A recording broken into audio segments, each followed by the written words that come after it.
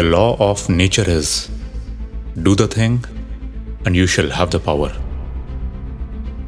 But they who do not the thing have not the power.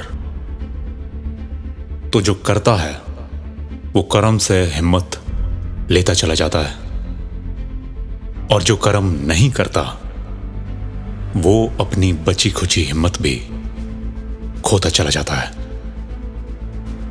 to be surprised by our own actions is the most beautiful gift that we can give are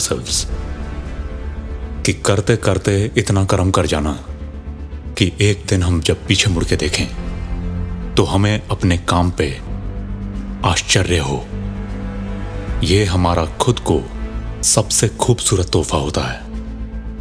अपने सपने को सिर्फ़ देखना सबसे पहली चुनौती है।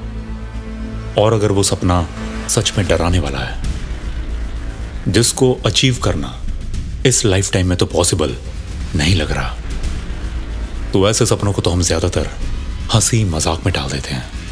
किसी ने मज़ाक उड़ाया, किसी ने नामुमकिन बताया। कुछ हमारा यकीन खुद पे पहले से ही कम था।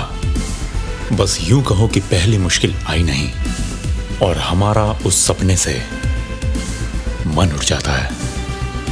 और जिस सपने को हमने ही देखा था, हम उसी से खुद को छोटा समझने लग जाते हैं। अब दो ही चीज़ें हो सकती हैं। या तो वो सपना हमने बनाया है, और अगर ऐसा है तो हम ही उससे क्यों डरें? और या फिर वो सपना हमें उस भगवान ने दिखाया है। और अगर उसने दिखाया है तो कमज़ोरी, डर और शर्म को अलविदा कहकर हिम्मत दर्द और साहस का दामन पकड़ लेना चाहिए। क्योंकि मेरे दिमाग में घुस के मेरा सपना देखने के लिए कोई और नहीं आने वाला।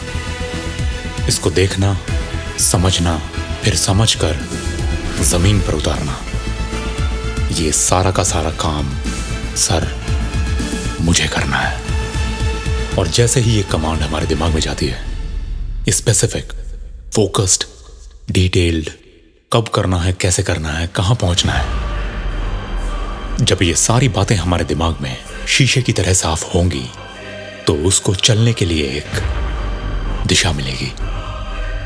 पर यहाँ पहुँचने के बाद भी हकीकत कुछ कुछ पहले जैसी ही रहती है। मगर इस बार हमारी लड़ाई किसी और से नहीं, हमारे अपने इस दिमाग से होती है। Because the mind has its own game on हमारे दिमाग की अपनी ही एक दुनिया चल रही है। इसका एक खुद का गेम चल रहा है। और ये गेम है, हमें ज़िंदा रखना, हमें कुछ बुरा ना लग जाए, हमें चोट ना लग जाए। जितनी थोड़ी बहुत हमने इज़्ज़त बना ली है, कहीं वो भी हमारे हाथ से ना निकल जाए। और फिर हमारा दिमाग हमें बचा बचा कर, सेफ़ रास्ते से ले जाने की कोशिश करता है। और क्योंकि सेफ़ रास्ते पे पूरी दुनिया बैठी है तो लाइन में खड़े रहकर तो दो मंजिला मकान ही बन पाता है। महल बनवाने के लिए तो भाई, हज़ारों मजदूरों को बुलाकर लाया जाता है।